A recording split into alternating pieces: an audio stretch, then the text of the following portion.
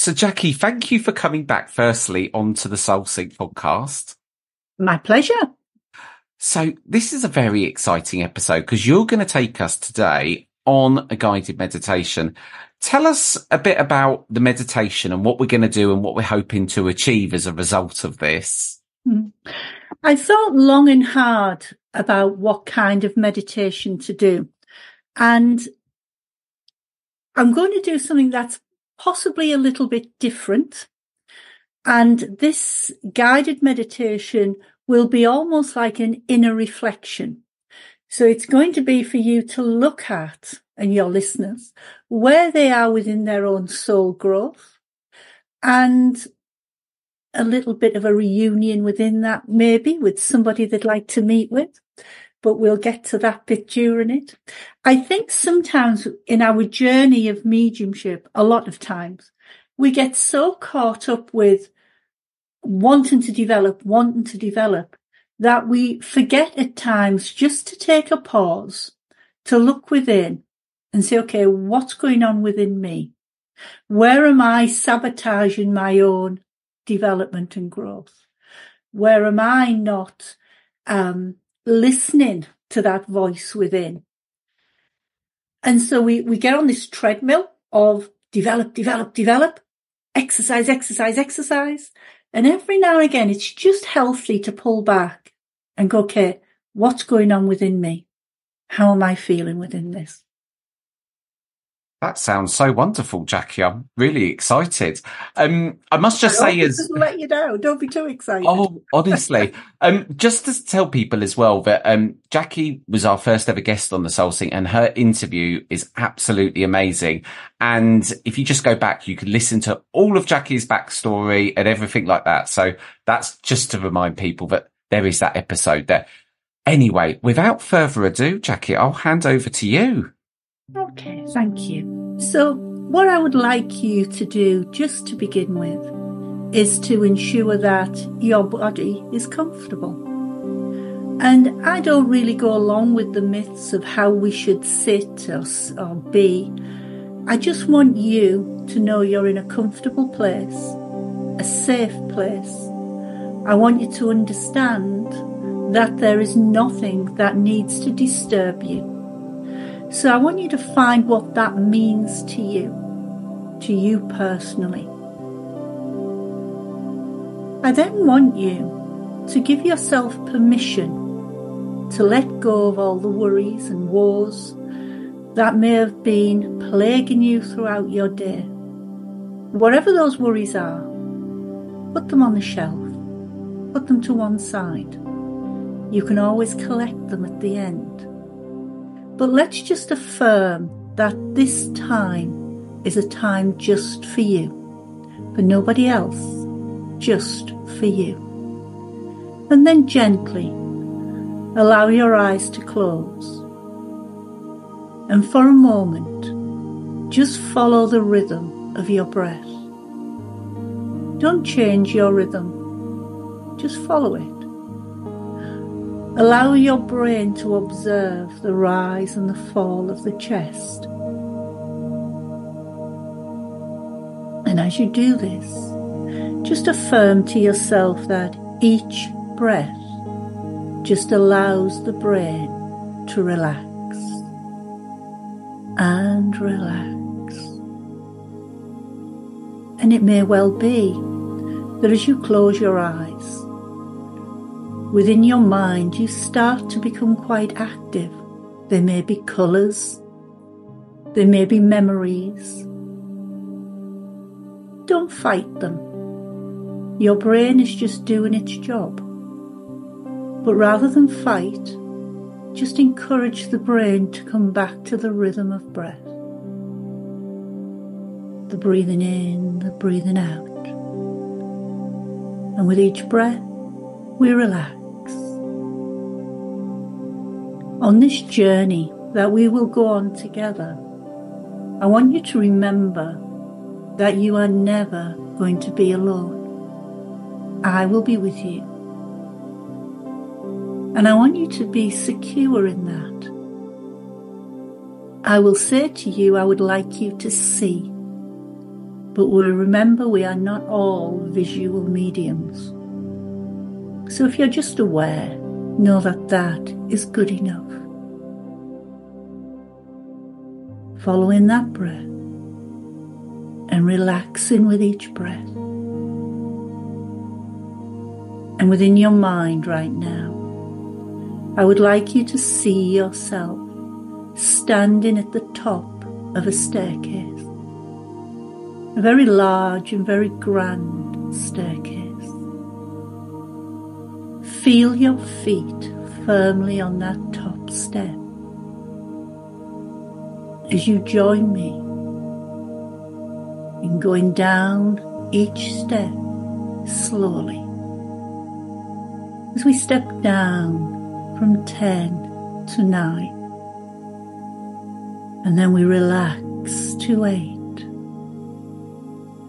Step down to 7 going deeper to six, deeper and deeper, stepping down to five, relax to four, moving on to three, stepping down to two, and finally to one. And as you step off this staircase, you find yourself in your very own spiritual garden.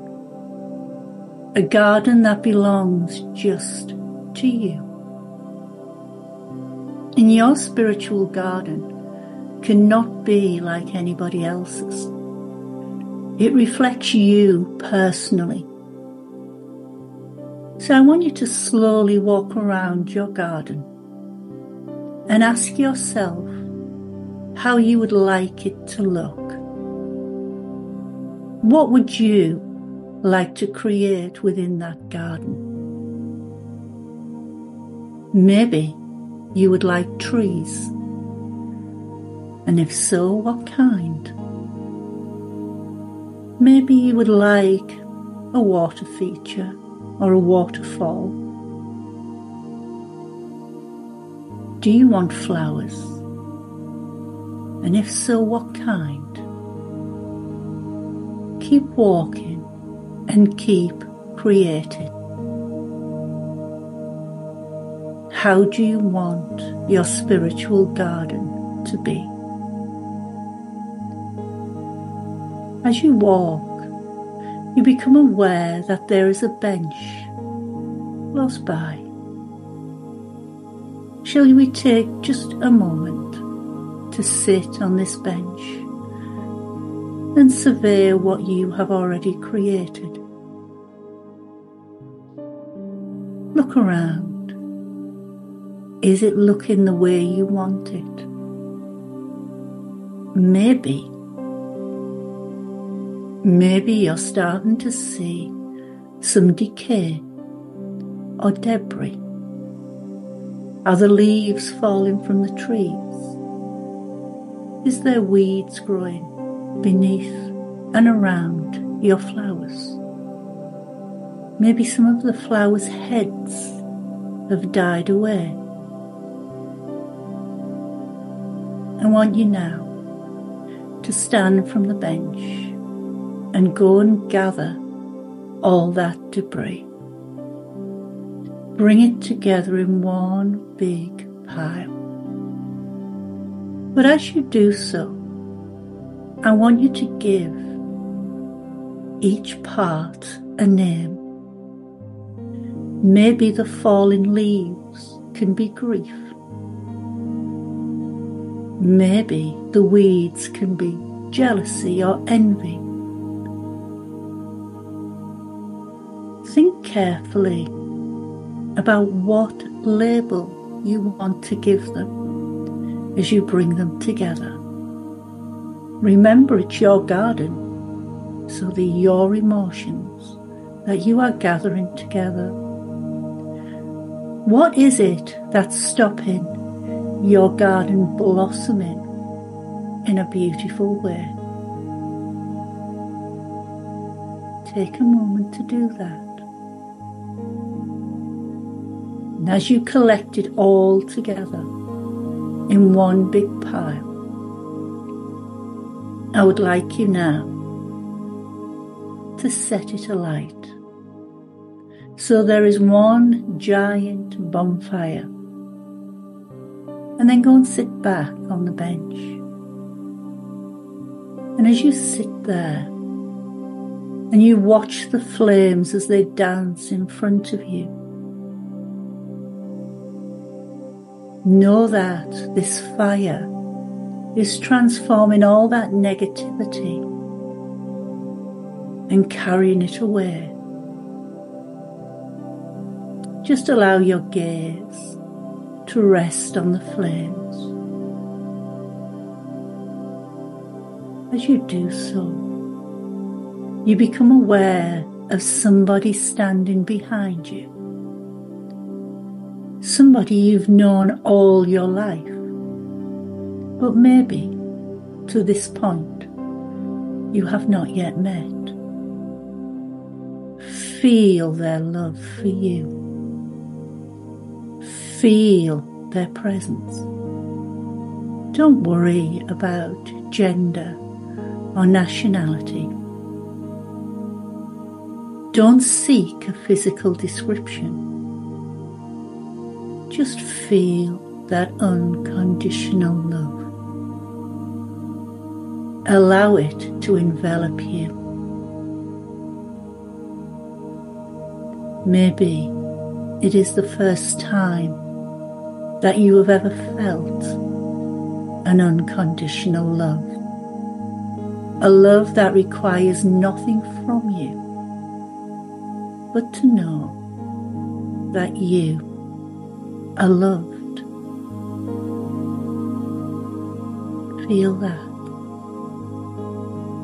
Your friend, your mentor, comes to join you on the bench.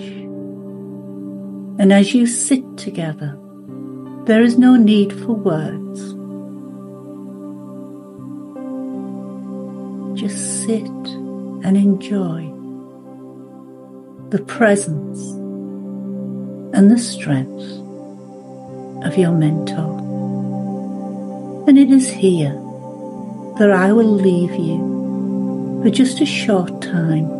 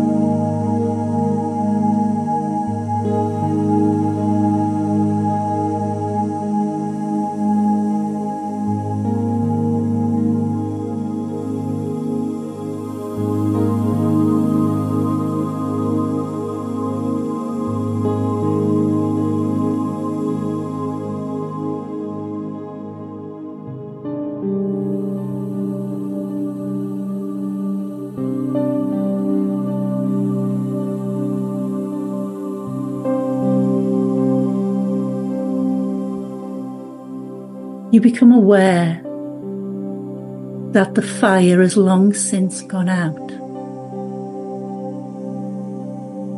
And as you look around, you can see that night time is coming. So, with your mentor, your friend, stand from the bench and take them for a walk around your garden. Show them the hard work you have put in into making your spiritual self strong and free from all that negativity. Walk round and show off your garden with pride. For you are knowing now that you are not your past. You are not the labels others have given you. But you are a strong spiritual being that is loved, so loved by that unseen world. So walk around with pride.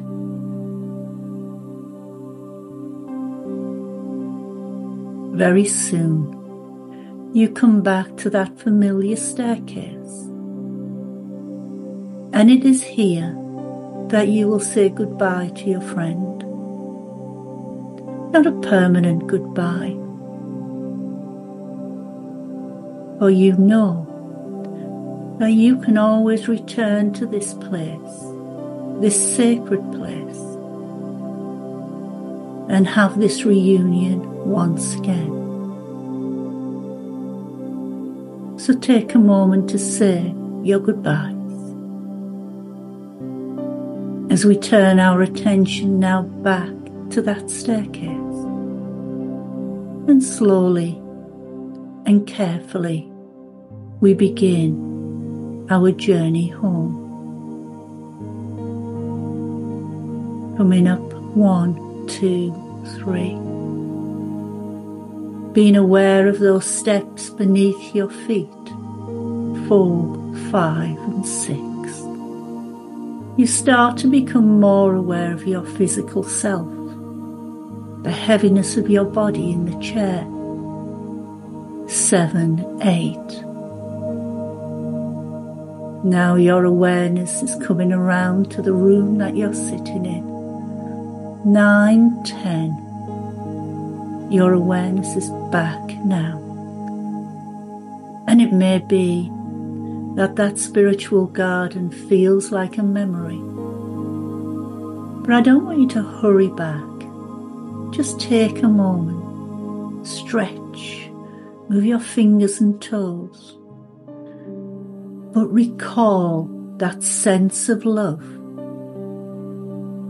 that genuine power of love that was given to you.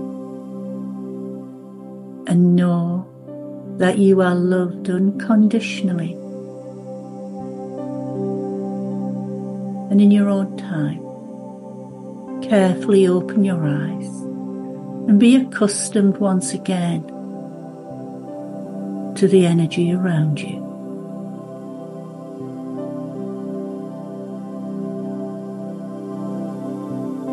There we go, Soul Sync. That was the incredible Jackie Wright taking us through that guided meditation.